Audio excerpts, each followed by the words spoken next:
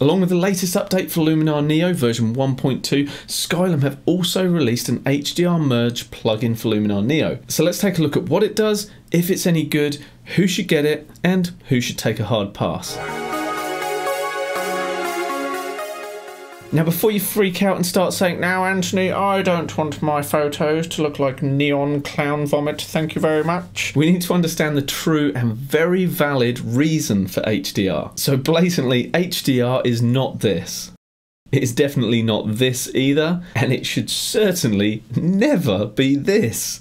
I know that, you know that, and thankfully Skylum knows that too. So if we're not doing that with HDR, what's the point? Well, the human eye can actually see around 28 stops of dynamic range in terms of contrast from the darkest to the very brightest points. Even the very best sensors in the most expensive cameras today can only push to around sort of that 14 stop mark. So in particularly contrasty scenes, you can either expose for the shadows or the highlights, but not both. And that, my friends, is where HDR used properly comes in. It's a tool that allows us to capture more realistically and authentically what the eye could see rather than what the camera's sensor was limited to capturing. So if we can start our photo editing from a foundation that contains all of that dynamic range, we're in a really good place. And that's where this new HDR Merge plugin for Neo comes in. So before we take a look at who it's best suited for and whether it's worth the investment, let's take a look at it in action. So I'm currently in the pre-release version of Luminar Neo Update update 2 so this will be version 1.2 so some things may just change slightly between what you see here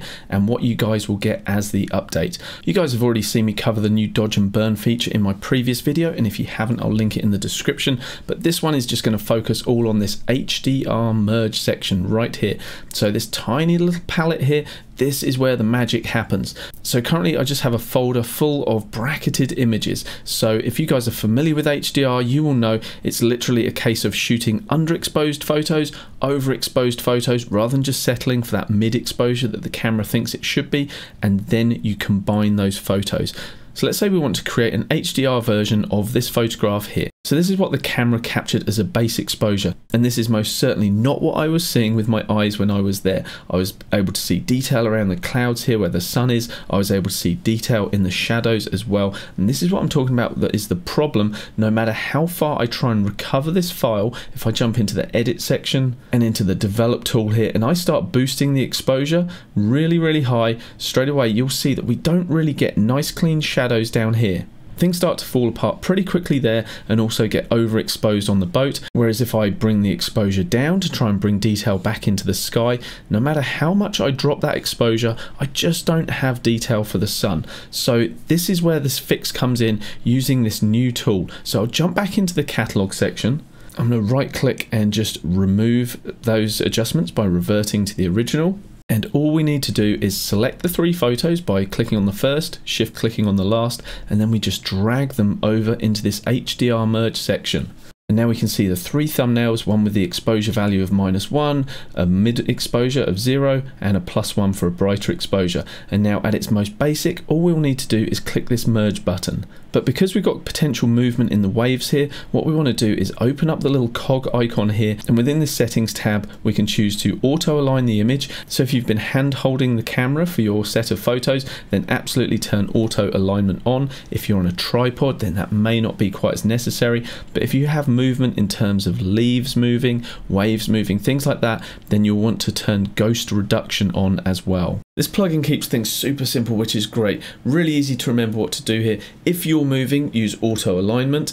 If there's things moving in your scene, that's where you want ghost reduction. And if you've got both going on, tick both. That's it. And we can select a reference image to say that this is the particular photo that we want you to prioritize. Go with these waves rather than these or these. So I'm happy using the mid exposure for that. And you can choose whether you want a low amount of deghosting right through to the highest. But obviously, the higher you go, the longer it's going to take for your processor to figure this out. So I'm just going to go with that, close this down again, and we're going to click merge. And hopefully this shouldn't take too long to actually create an image that's going to become a much better foundation for us to build our edit from and now it's stopped calculating. I should see another photograph here, but I don't. So where's that gone? Well, once the plugin has actually created your HDR file, it actually spits it out into a separate folder called HDR Merge. So now within the HDR Merge folder, we have a much better file to work with. This is now a 16-bit TIFF file. So if we open that up, The photo still looks realistic and we now have a much deeper level of data existing in this file for us to do a much more refined edit than we would have had using any one of those previous single bracketed photos so you guys can get a really good feel for the power of this tool and the attention to detail in terms of realism, let me show you the before and the after as in a single frame compared to the HDR merge. Now bearing in mind no editing has been done to any of these files other than just merging those HDR files so it's literally like a power platform for us to jump off into a much better edit. So is the HDR Merge plugin right for you? So HDR is best suited to subjects that are relatively still that we can photograph from a tripod. So if you predominantly photograph people, portraits, sports, pets, wildlife, things like that, then probably HDR isn't going to be too much help for you and you should probably just move on by and not worry about it. But if you're like me and you photograph landscapes, architecture, real estate, street photography, things like that, then this is the ideal plugin for you because it's going to give you a much better foundation to start all of your photo edits from. I do really love hearing from you guys, so let me know in the comments any genres that I might have missed or what in particular you might be using Merge to HDR for in your workflow. If you've decided this plugin looks like a really good fit for your workflow, then the next question we need to ask ourselves is, is it actually good value or not? Prior to the launch of this plugin, my HDR workflow predominantly revolved around Aurora 19, and the reason for that was the results you get straight from your initial HDR merge were phenomenally realistic, and that's what I'm looking for with my HDR. So the fact this plugin is taking and utilizing that very heart and core of Aurora 19 and using that as the algorithm that actually generates these HDR images, and you're getting it for a fraction of the price, then I think yes, it is absolutely good value. Admittedly, Aurora 19 did have more tools for the post production and development of your photo once it had created that HDR image, but to be honest, because we're editing the rest of the photo in our workflow in Neo, we don't need those tools. They they're kind of redundant and irrelevant. So from recollection, Aurora was I think $149 or thereabouts. Long time since I bought it, but this plugin is just $49. So in my opinion, well worth it. So who's eligible for the plugin and how do you get it?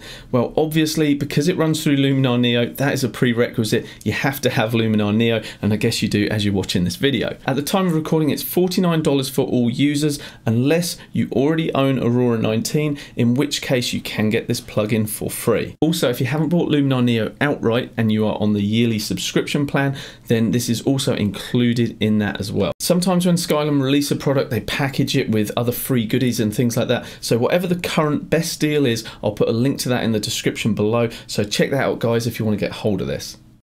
So in conclusion, after my last video about Dodge and Burn tool where I wasn't particularly flattering about it and pointed out a few flaws, I'm really delighted to be singing the praises of this HDR merge tool. I think it is a really good and strong addition to Luminar Neo. So far, from everything I've put into the HDR Merge plugin, I've been really pleased with the results. Very much akin to what I saw with my eye when I was there on site. However, what do you do if you like the HDR Merge but you don't want it with that full 100% intensity? Currently, there's no reduction slider, which could be seen as a problem, but as always, I like to offer you guys solutions when things aren't set up quite the way we would want.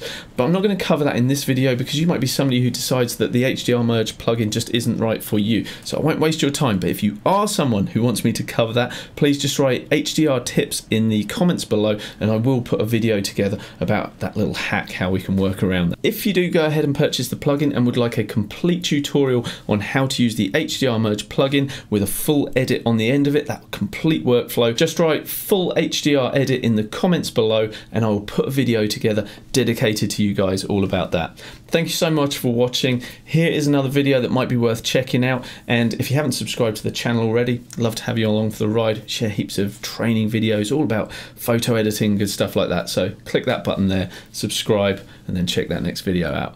I'll see you there, guys. Thanks for watching.